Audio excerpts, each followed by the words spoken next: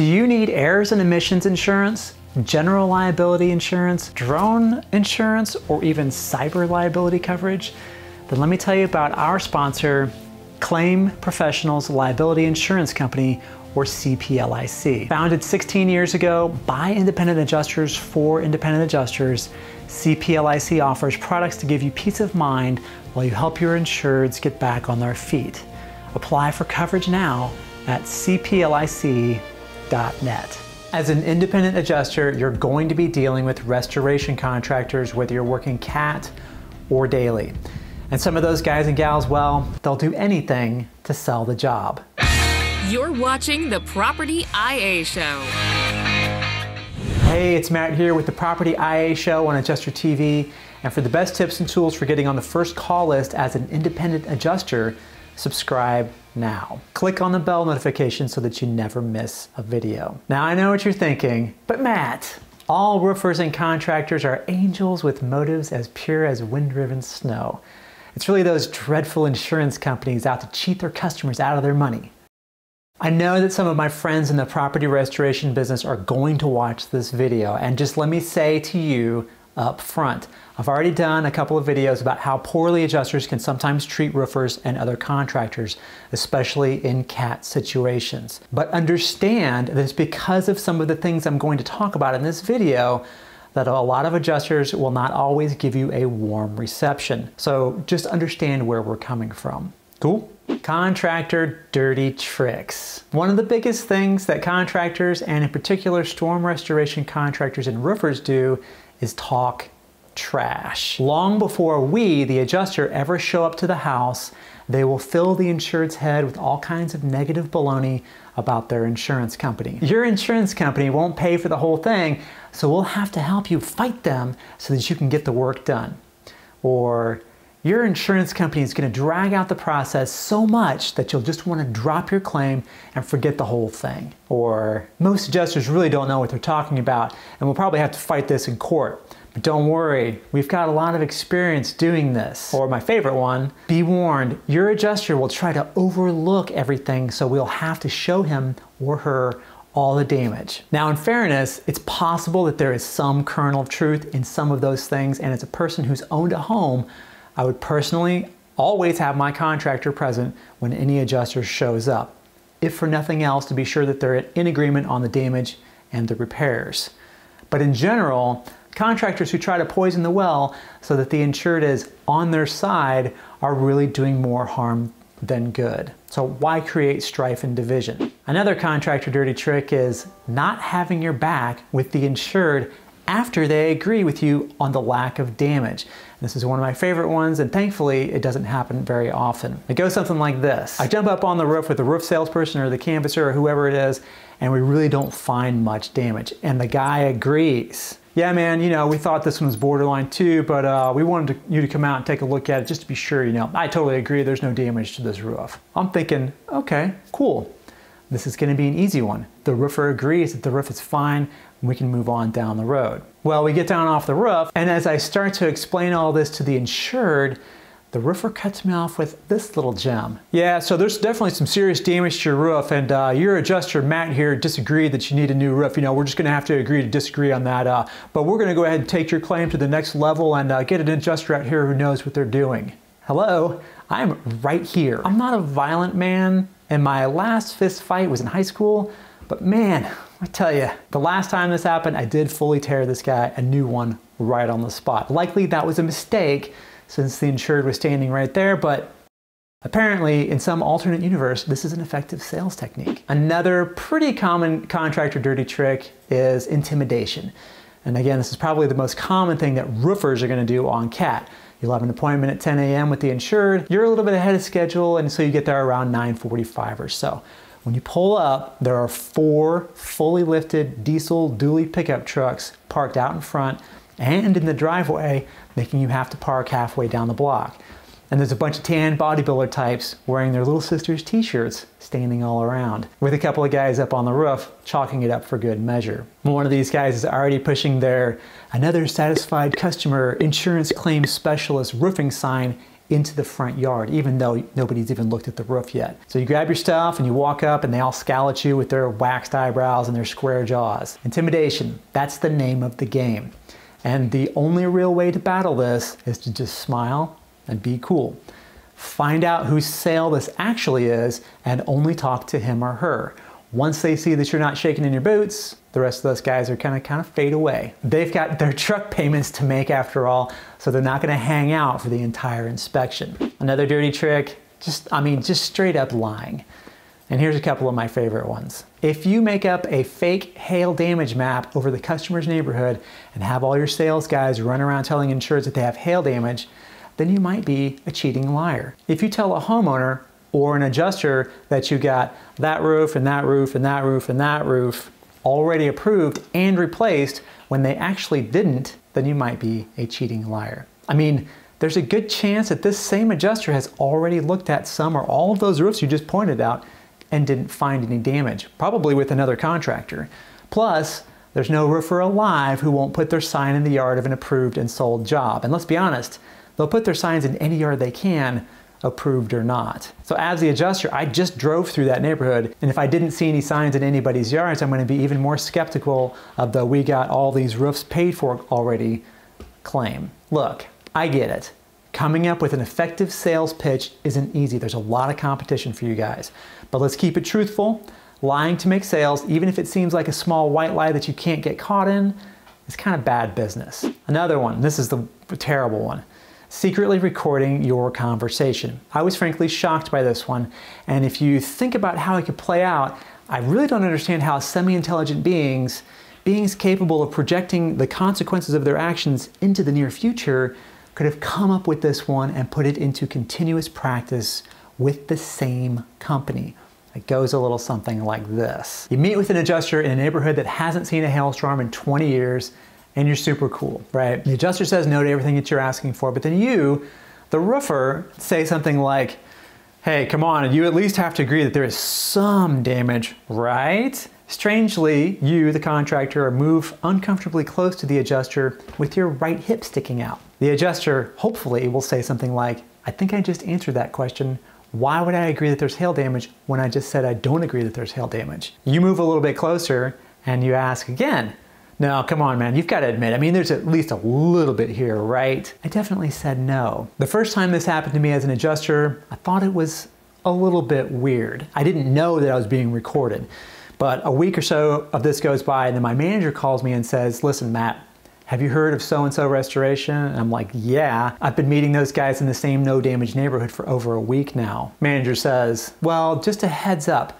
Some of our insureds are getting pretty upset because after the adjuster leaves, the guy from that company pulls out a digital recorder from his pocket and plays back the adjuster agreeing that there actually is damage, even though we're saying that there isn't or we're denying it. None of your claims have come up on this, but just be cautious around these guys. We're getting SIU involved. I was stunned when I got that call. So the next several times I ran into those guys and they pulled that with me, I just ignored them. I may have even looked at the guy's hip pocket I'm here to tell you, if you think that your little small time roofing company that you and your buddies thought up over beers one afternoon, right after the hailstorm hit your little town, if you think you're going to win in any way, especially in court, especially against a multi-billion dollar company, a company that likely has an entire building filled with expensive attorneys and a whole other building filled with people that they pay to look for fraud, I question your sanity. In these guys' defense, the guys that were doing this were all in their early 20s. Nothing against you, you young folks, but it's a known fact that young men and bad ideas kind of go hand in hand. And if a guy comes up with a really bad idea, an idea is so bad that everybody will know your trick after the first insured calls and says what happened, and you haven't thought that part through, I mean, incidentally, these guys also used just about every other dirty trick on this list as well. And I'll be the first to say that the vast majority of restoration contractors, yes, even the, the guys who seem like storm chasers, while they may be aggressive, they're also not crooks. Take note, independent adjuster.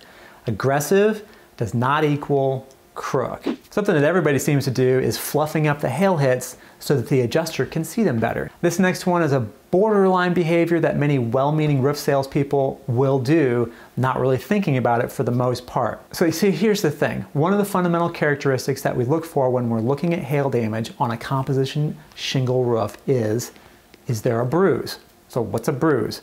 It's an actual spot, not necessarily a black mark. And if you touch the shingle, you can tell that the shingle itself has been crushed or damaged. You may even lift the shingle and see a bump on the bottom indicating that it was hit or impacted from something falling from above. That's going to be a key identifier of hail damage, all other things being equal. So you kind of have to touch the roof to feel that. Unless it's massive, no questions hail damage, sometimes it's hard to see that bruising.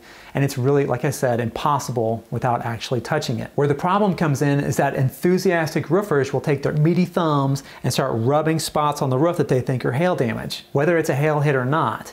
And in fairness, they may have at one time seen an adjuster do this, circle that spot, call, take a picture and call it a hit. But roofers, let me just give you a very big and very helpful piece of advice. Please do not touch the roof under any circumstances. When you rub on a shingle that way, you change that spot from an observable hail hit that an adjuster can identify to something else. It's now a spot that's been rubbed, and while you think that you may be helping the adjuster see the hits better, you're walking a very fine line. Technically, what you're doing is mechanical damage, okay? And that's just not covered. Ironically, many times I'll see a test square done by a roofer in the middle of a slope that has all these dark marks, but nothing outside of it. I mean, do you really think that I'm just going to reuse your test square? I mean, maybe some adjusters would, but I'm not going to. The bottom line, stay out of trouble and just don't touch the roof. If there's hail damage there, a trained and experienced hail adjuster will find it and everybody can go home happy. Which brings us to actual fraud. I'll start here by saying that it's not that common to see actual real fraud, you know, stuff like hammer hail, which is why when you do see it as an adjuster, it really, really sticks out. If you're an experienced CAT adjuster who's been on the road for years looking at real hail damage, and remember, most of the claims that a CAT adjuster goes on are going to be ones with legit damage that we can pay for. And then all of a sudden, see a weird repeating pattern across the shingles. You know, all the marks are right in the middle of the shingles or none of them are anywhere near the edges of the roof. There's no soft metal damage. I mean, come on. I've seen a lot of fake storm damage, really of all kinds over the years. I'll say it again, it's pretty rare. And because it's so rare, it really, really stands out. If I go to an insurance house and I find what is clearly hammer hail, I'm going to scope that roof and everything else for actual hail damage. The ironic part of this is that often the unscrupulous, and in this case, let me just be frank, stupid contractors will create fake damage on houses that actually already have legit damage. So what do I do in those cases?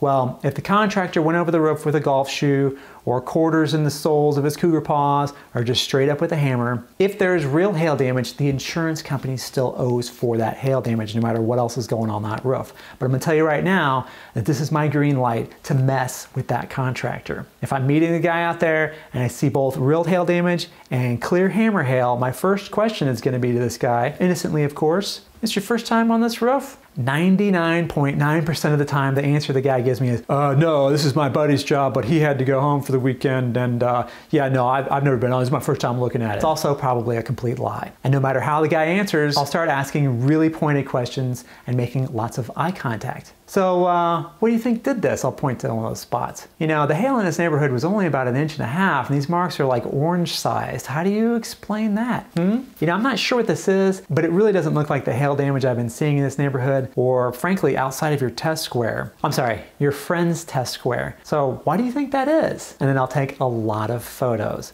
and I'll say something like, yeah, I'm gonna have to have some other folks at the insurance company take a look at these photos and get their opinion on what they think caused this, and so on and so forth. And by this time, the guy is stammering and stuttering and sweating. I try to stand up above him on the slope because I want, I want him to sweat and I want him to have to look up at me into the sun to see me. And I'll be honest, I'm mad. It may seem cruel of me to twist a guy like this, but this is fraud, okay? You ever wonder why homeowners insurance and auto insurance and other insurance is, is as expensive as it is?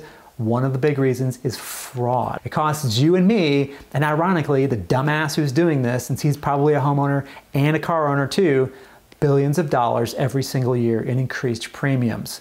If there's already hail damage on this roof and I'm totaling it anyway, and the guy seems to be a little bit more misled than malicious, I'll often let him off the hook by saying, listen, dude, this isn't hail damage. There is actual hail damage on this roof and we're gonna pay for it. But if I ever see this kind of a spot again with you or associated with your company, I'll have to send it up the chain. Call me a softie, whatever. Fraud is a hard thing to prove and it requires resources. So, but I'm being truthful though. If I do see this again, all bets are off and SIU is going to be on it. However, if there is no other damage and I'm seeing fake damage, I will definitely report it the first time without saying anything to the guy or the insured.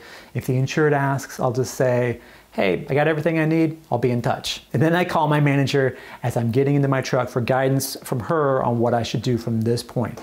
Because the carrier may end up paying for that roof anyway under a vandalism claim, SIU may get involved, etc. And at the minimum, because the carrier may want to go back out and look at that themselves to verify what they saw in my photos for themselves. So I'm not going to say anything like, well, I think you should file a vandalism claim like some people do. I wouldn't do that. And to you contractors who don't know what SIU is, it's the Carrier Special Investigations Unit. And they love to catch contractors in fraud. Love it. It's one of their favorite things. I know some SIU people, and they will chase you to the ends of the earth if they even think you might be up to no good.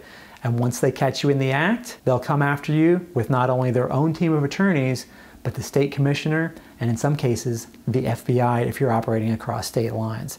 They will mess you up, and if you're lucky enough to escape jail time, your business will be dismantled, and you'll probably never be able to get a business license or a job other than washing cars for the rest of your life. Is it worth it? Okay, notice that I didn't include any roofer theory science claims in this video.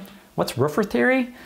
Roofer theory is the strenuous reaching for explanations of how this roof actually is damaged, but not by normal storm action. I'm gonna do another video on this topic later because it's a really fun one. I also didn't include astonishing overcharging. I've had several claims where I write something like a $5,500 estimate to replace a insured's one-year-old 14 square roof.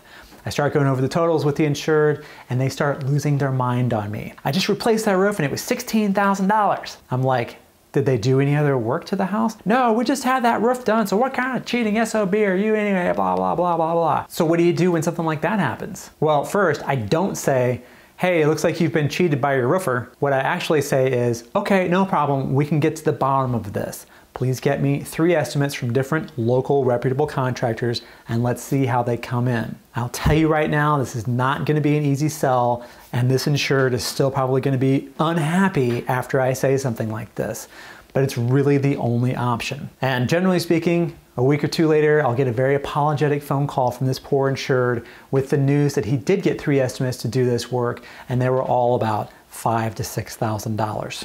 So to adjusters out there, Write your claim as high as you can in accordance with the carrier's estimating guidelines and the policy, but no more. Write a good estimate, and the vast majority of reputable and well-run restoration contractors will nod and smile when they see your bottom number. Question of the day. What other dirty tricks have you seen contractors pull? And contractors, let's be fair. Are there things that you see adjusters doing that you think are low down and dirty? Let's have a civil conversation in the comments where you're watching this video. I may be asking for trouble with that one, but we'll see. For much more information about crushing it as an independent adjuster, head on over to adjustertv.com. If you got value from this video, you can help me create more videos just like this by subscribing to Adjuster TV on YouTube. Wondering what to watch next? There are tons more videos right here on the Adjuster TV YouTube channel. And as always, thank you so much for watching the Property IA show and have a great storm.